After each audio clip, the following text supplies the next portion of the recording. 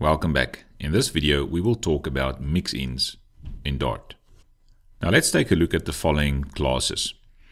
Let's say we've had class animal, class dolphin, class shark, bat, dove, and dog.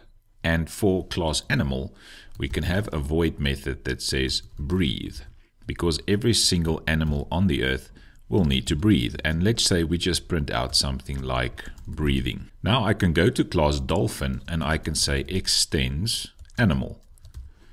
And I want to do this because every animal, uh, which includes a dolphin, a shark, a bat, a dove, and a dog, are able to breathe. Right, but now we know if we go to a dolphin, we know that a dolphin can also swim. So the dolphin class, we can add the swim method, and we can just print out swimming. Now, we can add this swim method also to animal, but not every single animal can swim. Like for instance, if you throw a, dove into the water, they will, the dove will have problems swimming, which means we cannot add the swim method into the animal class because not all of the animals can swim. But I do know that a shark can also swim, which means I can add that same swim method there. A bat cannot swim, a dove cannot swim, but maybe a dog can swim also. But I know for a bat and a dove, they can both fly. So I can have fly and we can print out flying.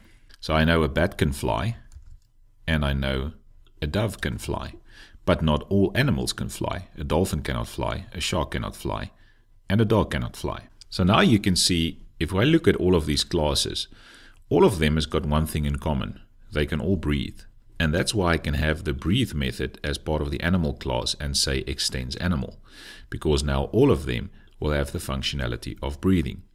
But I cannot add swim to the animal class if, for instance, the dove extends the animal, because a dove will not be able to swim. So we can now see that we are using the swim method in more than one class.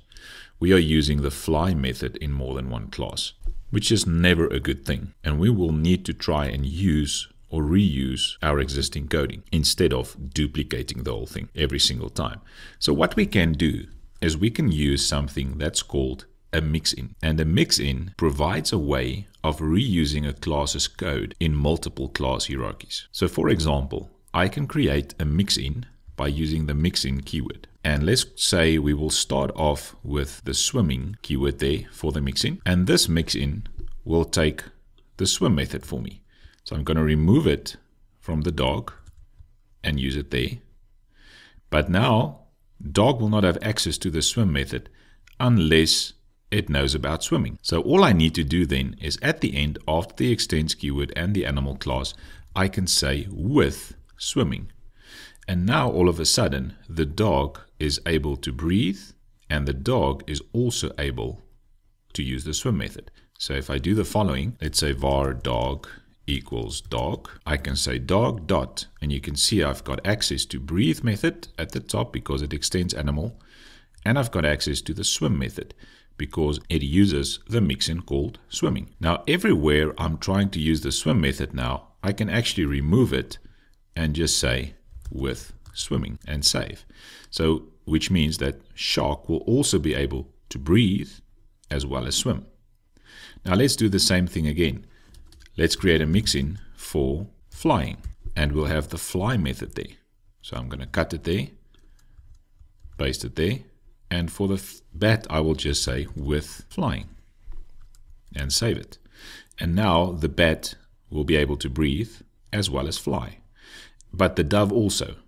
So I will say with flying and I can remove that method that's redundant now because I've got access to it. And then at the dolphin level also there, you can see we've still got the swim method in there. So we can also just say with swimming.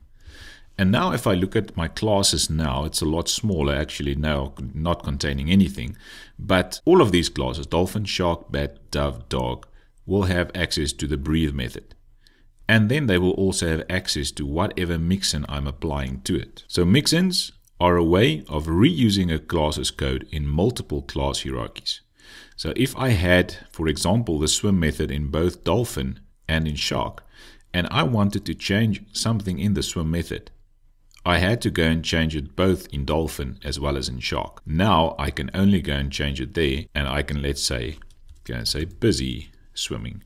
And now just changing it like that will change it for every single one of them that's using the swimming mixin. So again, they provide a way of reusing a class's code in multiple class hierarchies. Now, one thing about a mixin, I cannot, for example, go and say swimming equals swimming.